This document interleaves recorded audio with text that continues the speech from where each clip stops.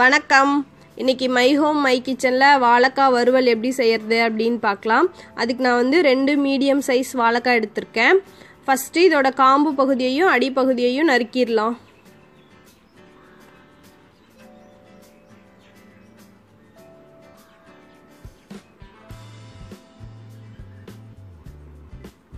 இந்த மாதிரி நறுக்கிட்டு அப்புறம் நல்லா வாஷ் பண்ணிட்டு அதுக்கப்புறம் வாழைக்காக்கு மேலே மொத்தமாக இருக்க தோலை மட்டும் சீவி எடுத்துக்கலாம். எல்லா தோலையும் சீவக்கூடாது. மொத்தமாக இருக்க தோலை மட்டும் சீவணும். அதுக்கப்புறம் நான் வந்து கத்தி யூஸ் பண்ணி சீவுறேன். நீங்கள் வந்து வெஜிடபிள் பீலர் யூஸ் பண்ணியும் சீவி எடுத்துக்கலாம். அப்புறம் இதை விட இன்னும் நல்லா பெரிய வாழைக்காவாக கிடச்சிச்சின்னா அதுவும் எடுத்துக்கலாம். அதுவும் வந்து நல்லாயிருக்கும்.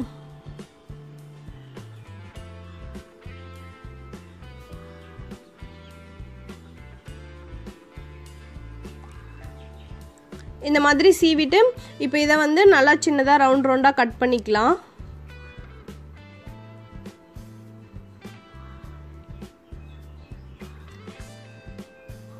இது வந்து நறுக்கும்போது ரொம்ப மொத்தமாகவும் இல்லாமல் ரொம்ப மெலிசாகவும் இல்லாமல் கொஞ்சம் மீடியம் சைஸ் இந்த மாதிரி இருக்கிற அளவுக்கு நறுக்கிக்கணும். அப்புறம் இந்த வாழைக்காய் வறுவல் வந்து லெமன் ரைஸ் கூட அதுக்கப்புறம் தேங்காய் சாதம் தயிர் சாதம் இந்த மாதிரி வெரைட்டி ரைஸ் பண்ணுவோம் இல்லையா அது கூடலாம் ரொம்ப நல்லாயிருக்கும் அதுக்கப்புறம் ரச சாதத்து கூடவும் ரொம்ப நல்லாயிருக்கும்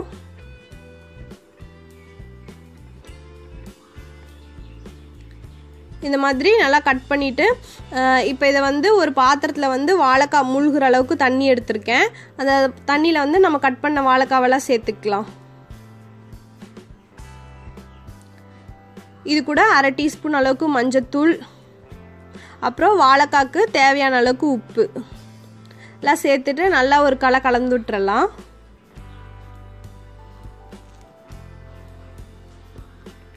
இப்போ இதை அடுப்பில் வச்சு இது வந்து ஒரே ஒரு கொதி மட்டும் தான் வரணும். தண்ணி ரொம்ப கொதிச்சு வாழைக்காய் வந்து ரொம்பலாம் வெந்துடக்கூடாது இந்த மாதிரி ஒரே ஒரு கொதி மட்டும் வந்ததுக்கு அப்புறமேட்டு அடுப்பு ஆஃப் பண்ணிட்டு தண்ணியை வடிகட்டி வாழைக்காவை எடுத்துக்கலாம்.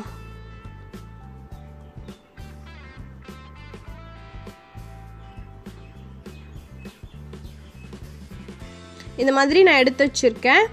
ரொம்ப வெந்துச்சுன்னா வாழைக்காய் வந்து இந்த மாதிரி முழுசு முழுசாக இருக்காது உடஞ்சி போயிடும் இப்போ வந்து இந்த ம வாழைக்காய்க்கு தேவையான மசாலா ரெடி பண்ணிடலாம் அதுக்கு வந்து ஒரு பிளேட்டில் வந்து ஒரு டேபிள் ஸ்பூன் அளவுக்கு கொத்தமல்லி தூள் சேர்த்துக்கலாம். அதுக்கப்புறம் ஒரு டீஸ்பூன் அளவுக்கு கரம் மசாலா. ஒரு டேபிள் ஸ்பூன் அளவுக்கு மிளகாத்தூள். அப்புறம் ஒரு டேபிள் ஸ்பூன் அளவுக்கு கடலை மாவு. அப்புறம் ஒரு டேபிள் ஸ்பூன் அளவுக்கு அரிசி மாவு. அதுக்கப்புறம் ஒரு டீஸ்பூன் அளவுக்கு கருவேப்பிலை பொடி. ஒரு டீஸ்பூன் அளவுக்கு உப்பு. அதுதான் இதுக்கு தேவையானது. இப்போ இதை நல்லா மிக்ஸ் பண்ணிடலாம் இப் இந்த மாதிரி மசாலா ரெடி பண்ணி ஒரு ஏர்டைட் பாக்ஸ் கண்டெய்னரில் போட்டு வச்சுட்டு அதுக்கப்புறம் நம்ம எப்போ வேணுமோ அப்போ கூட எடுத்து யூஸ் பண்ணிக்கலாம். இந்த மாதிரி நல்லா மிக்ஸ் பண்ணிட்டு நம்ம வேக வச்சு எடுத்து வச்சுருந்தோம் இல்லையா? வாழைக்காய் அதை வந்து இந்த மசாலாவில் நல்லா பெரட்டிடலாம். ரெண்டு பக்கமும் நல்லா ஒட்டுற மசாலாவை நல்லா ஒட்டி வர மாதிரி பெரட்டி எடுத்துக்கணும். அப்புறமேட்டு நம்ம வேக வச்சோம் இல்லையா வாழைக்காய் அது வந்து வடித்தோம் அப்புறமேட்டு கொஞ்சம் அதில் ஈரம் இருக்கும். அந்த ஈரத்தோடையே வந்து மசாலாவில் பெரட்டினோன்னா வந்து மசாலா நல்லா ஒட்டிக்கும். இதே மாதிரி நான் வந்து மசாலாலாம் பெரட்டி எடுத்து வச்சுருக்கேன் இப்போ.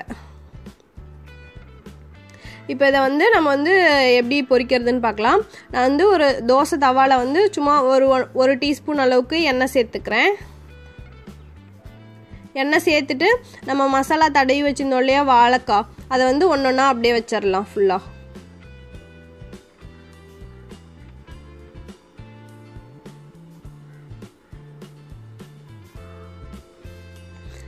இந்த மாதிரி வச்சுட்டு சுற்றிலும் கொஞ்சம் எண்ணெய் விட்டுடலாம் அப்போ தான் வந்து பின்னாடி இருக்கிறதோட வாழைக்காவும் அப்புறம் மசாலாவும் நல்லா வேகும்.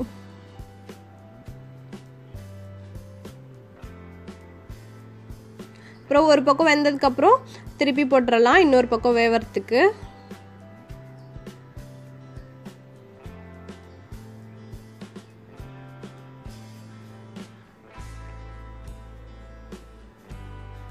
திருப்பி போட்டு ரெண்டு பக்கமும் இந்த மாதிரி நல்லா வெந்ததுக்கப்புறம் எடுத்துட வேண்டிதான்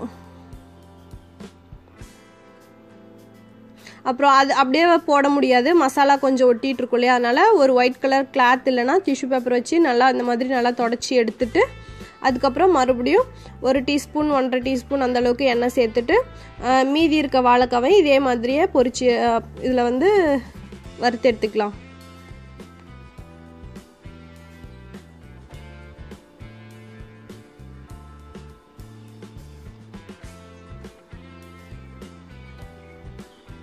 அவ்வளோதான் நம்மளோட வாழைக்காய் வறுவல் ரெடி ஆயிடுச்சு. உங்களுக்கு இந்த வீடியோ பிடிச்சிருந்தா மை ஹோம் மை கிச்சனுக்கு சப்ஸ்கிரைப் பண்ணுங்கள் ஹாப்பி குக்கிங்